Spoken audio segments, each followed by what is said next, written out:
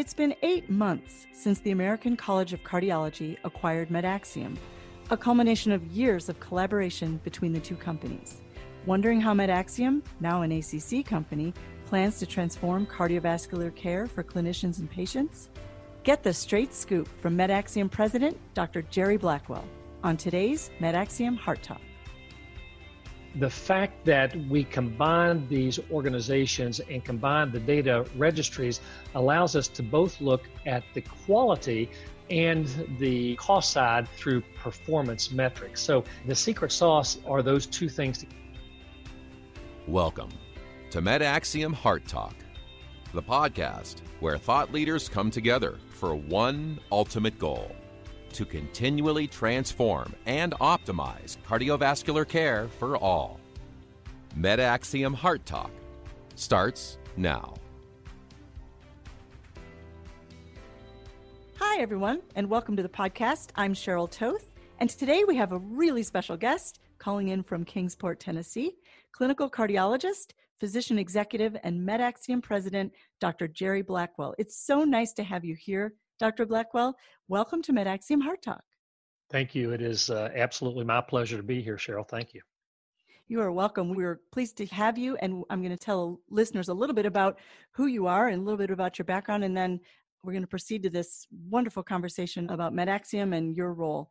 So, Dr. Blackwell, you I know you graduated from Marshall University, Joan C. Edwards School of Medicine, and you completed your residency at The Ohio State University and a fellowship at the University of Alabama in Birmingham, and you earned your executive MBA at the University of Tennessee. So you have, Dr. Blackwell, more than 30 years of experience in cardiovascular medicine, um, everything from academic cardiology to private practice to large integrated cardiovascular group leadership. And you still have a clinical practice focused on cardiovascular MRI and CT angiography and cardiac positron emission. Most recently, you served as executive vice president and chief clinical officer of Ballad Health System. And so, what I'm wondering is if you could kind of start things by telling us what drives you to do this kind of work.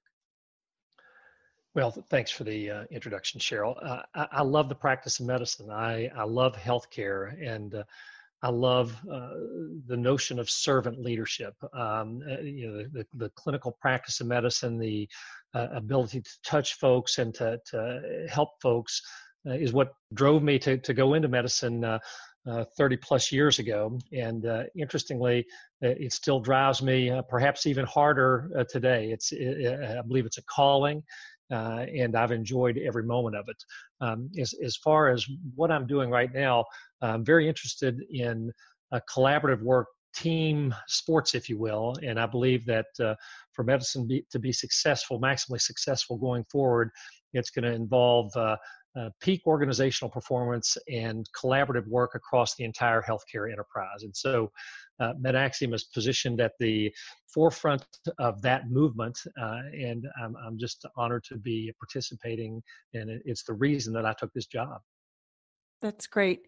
I, I can appreciate that idea of servant leadership and that it's a calling um, that makes it feel like your heart is in the right place and um, you know what you bring to the table in collaboration is exciting and we'll talk a little bit more about that i'd be curious to also know what you're passionate about in your personal life you know when you take off your lead vest as it were um, what do you enjoy doing Oh wow! Now th- this may take a little longer. So uh, it, it, the the fact is that I have a wide variety of interests, but uh, you know what what motivates me uh, primarily is my uh, my personal faith uh, and my family. Uh, I have a beautiful family with a, a wife uh, that will be married 37 years here coming up in, in just a few weeks. Uh, three married sons, and uh, and actually just earlier this morning we welcomed uh, our eighth uh, eighth grandchild into the fold. Oh wow! Congratulations! Um, so thank you yeah so so thank you very much very very focused on that but um but i am a absolute outdoor and sports nut so i like all sorts of uh, recreation, uh, fly fishing. Um, there, there's no sports that I'm not interested in, uh, particularly college basketball, but uh, but sports, football, and uh, and basketball in particular. So anything outdoor. My wife is exactly the same way. So we really uh, enjoy outdoor activities. That's great. Uh, outdoor activities include hiking, walking, biking too? Yeah, my wife and I are, are native West Virginians, and we currently, and, and, we've lived for the last 25 plus years in Northeast Tennessee. Uh, so we love the mountains. Um, hmm. you know, we like uh, four seasons, and uh, so uh, hiking, golf, tennis. My my wife was a college tennis player, so uh, she's very passionate about that.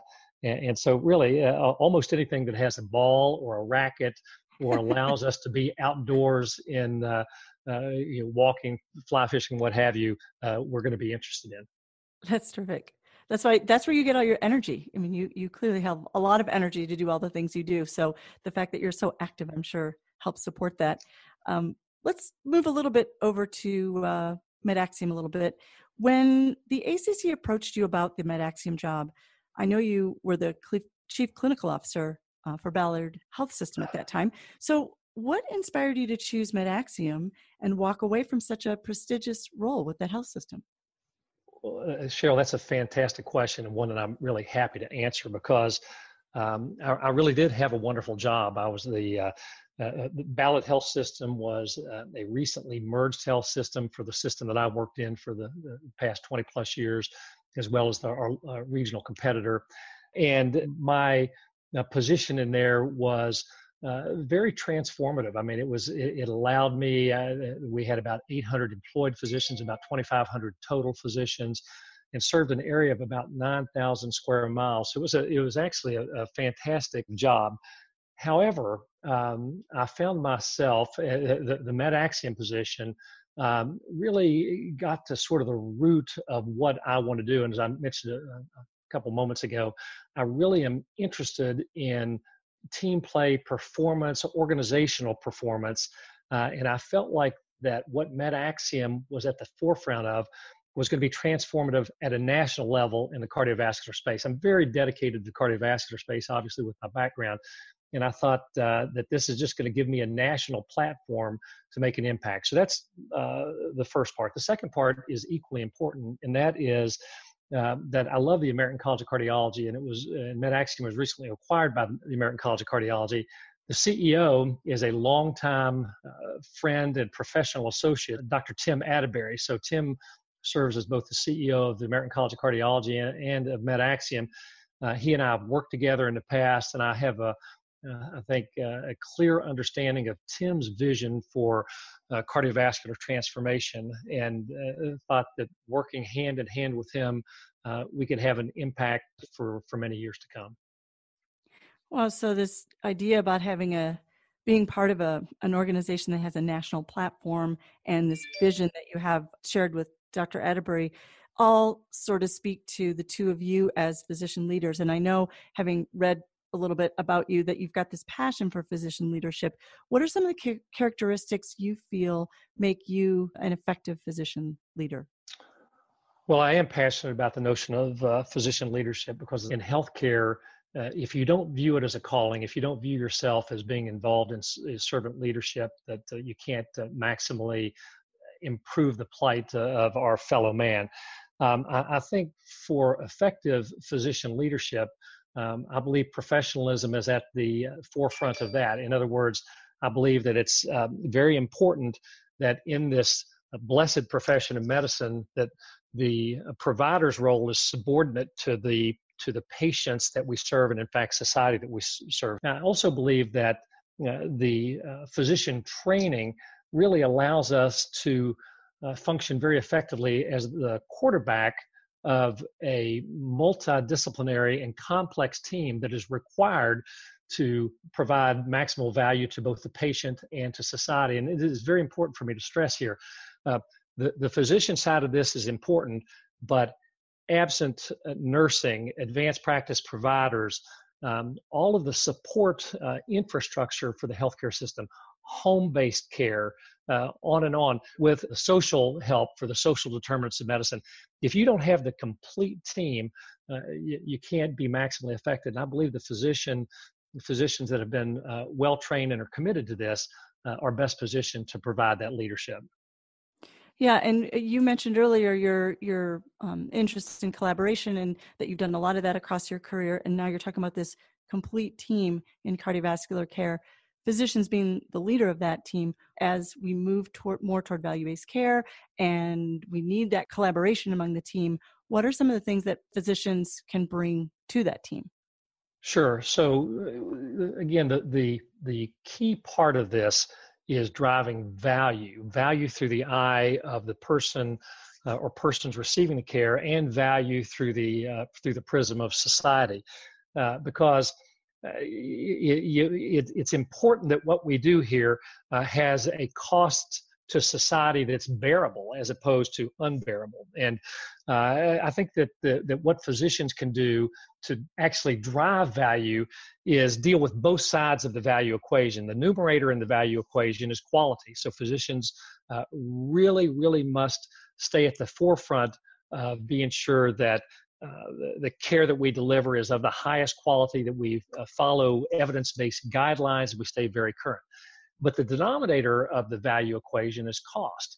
And so the things that we do, physicians need to be very cognizant that we're not uh, over testing or that we're not doing things that cost uh, more money. And the physician is very well positioned to deal with both the quality side of the value equation and the cost side of the value equation.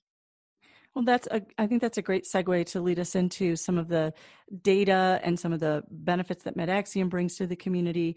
Some of the things you said in um, a recent guest editorial in Cardiology Magazine, you touched on some of those benefits for the MedAxiom community. So, what does the collaboration of these two organizations now bring to the value equation or bring to the CV community? Yeah, thanks, Cheryl. That, that is actually the gets back to the crux of why I, I took this job. Uh, and you quickly asked me about things that motivate me in my personal life, and I've, mm-hmm. I've focused on team play and team sports, and it, it gets back uh, to that, believe it or not, in, in, in answering that. One of the things that motivated me both about the ACC and MedAxiom is that both have uh, kept score, if you will, bringing back to these sports analogies. The ACC, long before it was fashionable, became involved in data registries, data registries with millions of data points to talk about how care is delivered and to really focus on uh, keeping score on the quality side of things. MedAxiom, in like fashion, has kept score as it relates to organizational performance, having performance metrics. Uh, how do the best organizations um, provide the care? So the marriage of the uh, clinical quality work on the AC side, ACC side of the ledger and the organizational performance metrics on the MedAxiom side of the ledger, uh, combining those, those two provides the complete equation for uh, providing the best possible care. So I, I think if, if I had to pick one thing, it would be the combination of two organizations that have kept score through very, very intensive data registries. And what to combined, what kind of power does that have for the MedAxiom community and for cardiovascular services nationwide? What what can be what do you see as the opportunities for the two organizations marrying those databases um, in in the market? Sure, and again, another great question. Uh, it, it, gets back to what I mentioned before, and that is value is quality uh, over cost. And the fact that we combine these organizations and combine the data registries allows us to both look at the quality and the cost side, if you will, primarily through performance metrics. So it's it, the secret sauce are, are, those two things together. Now, there's many other things that are valuable, but I, I think at its core, uh, ACC and MedAxiom are able to do that uh, in a fashion that's superior to any other specialty organization in all of organized medicine. Um, there, there is one final part of this that we still need to uh, work on, and that is um, the payer side of this equation and and understanding both internal and external costs. So it's a complicated soup that we're uh, trying to put together here, but I believe that we're positioned to do it better, literally, than any other specialty society in all of organized medicine. That's great. So combined data, organizational strength. These are some of the things that the MedAxiom community is going to see in the coming months and years. Um, we're going to take a short break, Dr. Blackwell, and we'll be right back to talk a little bit more about uh, some strategic implications. Stay with us. We'll be right back. CV Transform is happening October 24 through 26th in Dana Point, California. Don't forget to download the CV Transform app where you'll get updated information before, during, and after the conference. Can't make it in person this year? Join us on Facebook. For the first time ever, MedAxiom will live stream two sessions. On Thursday at 1:15 Pacific, our opening keynote will feature MedAxiom CEO Tim Attebery and MedAxiom President Dr. Jerry Blackwell. And on Friday at 2:30 Pacific, ACC's Dr. John Rumsfeld will share on the challenge of digital transformation in CV care. Learn more at cvtransform.com. Welcome back to MedAxiom Heart Talk. Our guest is Dr. Jerry Blackwell, clinical cardiologist and president of MedAxiom.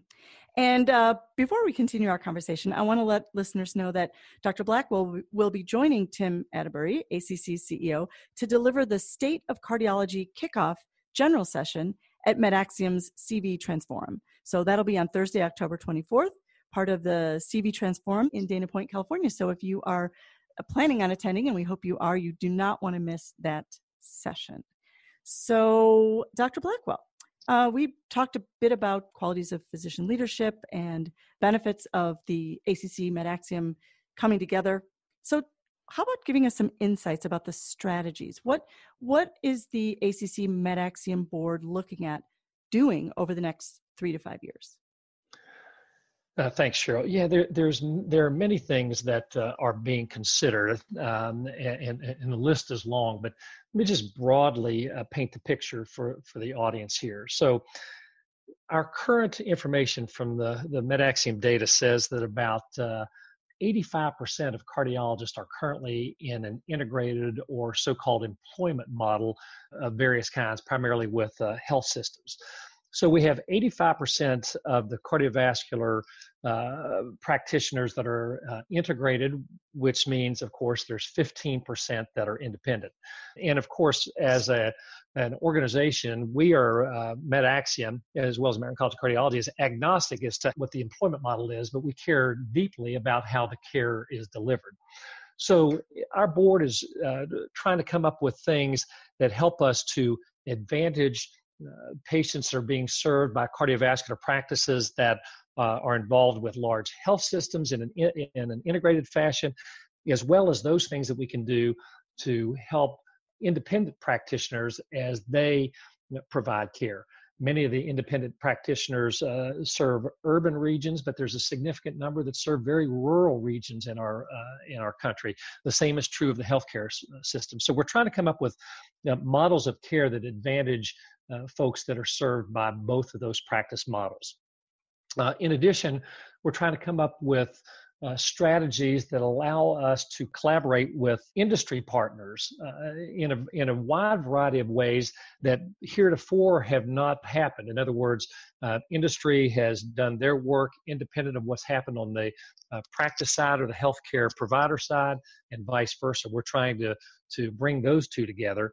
Uh, and finally, uh, we're, we're trying to further refine those uh, organizational performance metrics that uh, the, that we believe the marketplace needs to better understand to deliver better care. So there's there's a, a sort of a broad swath of the things that we're looking at. So those are three great areas that you're working in, and I'm also um, interested in knowing about the uh, ways that maybe some of the major challenges CV programs are facing, given some of the you know the context of our current landscape with reimbursement and um, well technology changes. You mentioned the care models that support employed cardiologists, rural, private practice, all those different you know that that landscape is changing. What do you think that the ACC MedAxiom partnership is going to do to help CV programs and support them in this current landscape and what's happening? Sure. Well, I, I think that uh, one of the things that we want to signal to the marketplace we're already doing, and that is that we're open for business in the world of collaboration. I, I keep saying this over and over again, but I think it's very important because to maximally advantage the patients and society, we need the cardiovascular practices, we need the health systems, we need industry, and we need payers. All uh, four legs of that stool to work collaboratively, and heretofore each have worked in their own silo. So, for example, uh, what we would like to do is to uh, come up with ways to work in an innovative fashion with the payers so that uh, we as an organization, uh, MedAxiom the, and the cardiovascular practitioners, agree that we're willing to to go at risk for some of the uh, some of the care that's delivered. In other words, uh, we believe that the, the best organizations will be able to deliver the highest quality care at lower costs, and we can drive costs down and collaborate with the uh, the payers to be sure that uh, that impact is felt in a positive way for both individual patients and society. That is really a new model. That's something that's not out there right now, or it's not as widely uh, disseminated as it should be. And, and, we believe we can be at the at the front of uh, coming up with those new models and and and uh, more importantly, making them work effectively. Very exciting.